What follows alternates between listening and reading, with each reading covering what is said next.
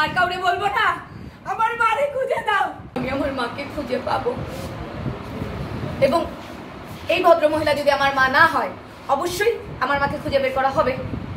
সে আত্মগোপনে যাক, আর যাই হোক, যেখানে যেখানে বসে আত্মগোপনে আমি বসি ভাই।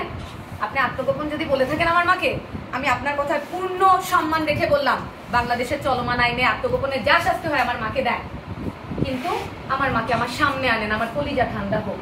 আমি তোমার মাকে দেখতেছি না, দেখতেছি বলেন। কথা বলতে তো সবাই পারে না। এই জন্য করে কি জানেন? আমার বোনের কাছে যায়। আমার বোন ছোট। ও, ওর বয়স তিরিশ বছর। ও তো কথা বলতে পারে না। যখন কমিশনার সাহেব বলছে যে আপনাদের সমস্যা ও কানতে কানতে আসছে। কথা তো বলার শক্তি আল্লাহ সবাইকে দেয় নাই। আমার বড় বোন কথা বলতে পারে না বলে কি আমি কথা বলব না? আমাকে এরকম সংবাদে পাঠাইছে যে আমি তো ঢাকায় থাকি। আমার বোনটা ওখানে থাকে, আমার বোনদেরও লাশ পাবো। আমি ওদেরকে ডাকছি যে আমি কি তাইলে আর খুঁজবো না মারে বলছে যে কেন খুঁজবা না খুঁজবা। করতে গেছে ওরে বলছে? এই আপনি কি দেখছেন? ওরা নিশ্চয় আপনার মাকে?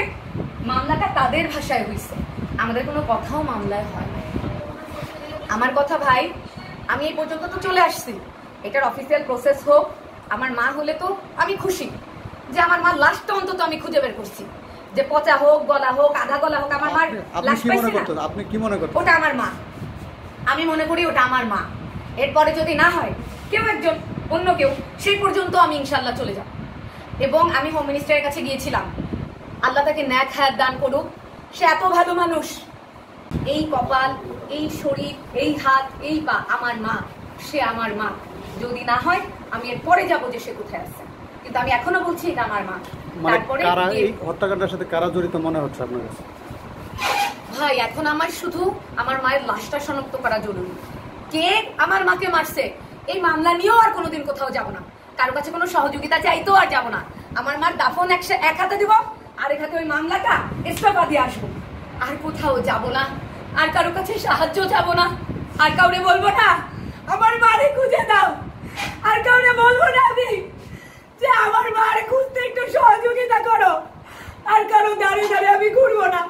আমি এক হাতে আমার মাকে দাফন দিব, এক হাতে এই মামলা দাফন দিব। মামলা দিয়ে করব কি? ওদের যদি ফাঁসি হয়, আমি আমার মাকে পাবো? আমার মাকে খুঁজে পাবো? আমি আমার মাকে খুঁজে পাবো না। আপনি পত্রিকা খুলবেন।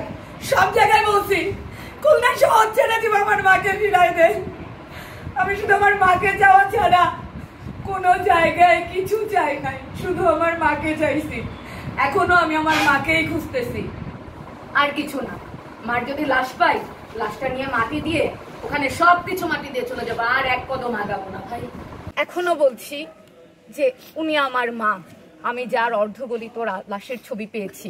কিন্তু তারপরেও আমি অফিসিয়াল প্রসেসের মাধ্যমে যাব অফিসিয়াল কাজের মাধ্যমে, যেখানে অফিসিয়াল প্রমাণ হবে যে এটা আমার মা কি না। কিন্তু আমি এখনও পর্যন্ত বলছি আমার মা, তারপরেও আমি অফিসিয়াল কাজে যাব। এটার ব্যবস্থা নেওয়া হচ্ছে এবং ফুলপুর থানার ওসি, আমি ভদ্রলোকের নাম মেনশন মানে জানি না কিন্তু আম- হ্যাঁ এবং আমি তার প্রতি ভীষণ রকম কৃতজ্ঞ যখন আমি তাকে ফোন করেছি সে আন্তরিকভাবে আমাকে রেসপন্স করেছে। আমি কৃতজ্ঞ এখানের পিবিআই উপরে। তারা দেখতেই পাচ্ছেন যে পাশে কীভাবে দাঁড়িয়ে গিয়েছে। আমি মনে কৃতজ্ঞ র্যাব ফোরটিনের প্রতি।